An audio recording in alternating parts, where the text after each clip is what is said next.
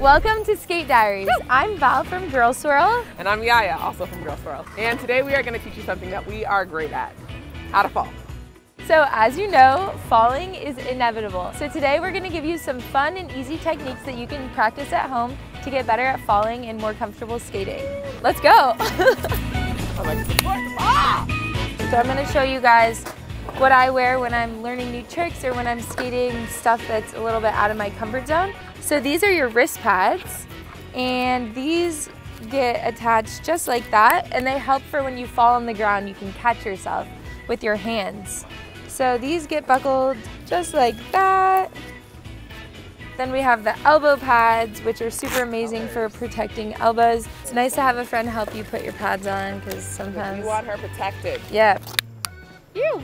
So these are our knee pads, which are arguably the most important part of this whole fit, actually probably the helmet. Knee pads, which are these ones right here, are super important, especially for bowl skaters, because a lot of bowl skaters will will drop in the bowl and if they don't make the trick, they'll just go straight to their knees and that protects them from getting huge bumps, cuts, all of that. So here is my full protection fit and I'm gonna go through a couple ways to fall. The first way that we always teach new, new skaters how to fall is dropping straight to their knees and leaning back.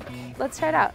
So you can sort of run up, drop down, and you lean back so that you're your feet, see how my feet are pointed at the ground and my knees are back. And sometimes if you don't lean back far enough, you can catch yourself with your hands. So one example of that. Ah! Another tip when falling, especially if you don't have pads on, is to kind of drop, like drop, tuck, and roll. Why don't you just go ahead and show um, how to, you know, tuck and roll and fall from when you're in motion? Perfect. Oh shit. Ah! Oh no! She tucked and rolled. and that is how you tucked and roll. You just put everything nice and tight, did everything perfectly. We love to see it. When you're skating and you feel like you're gonna fall, getting prepared and knowing that you're gonna go straight to your knees is super important and helpful.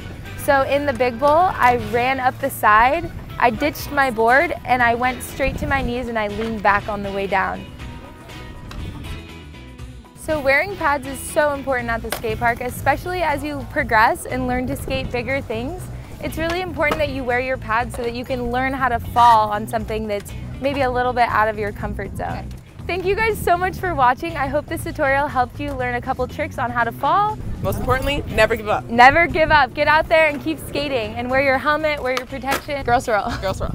GRLSWIRL.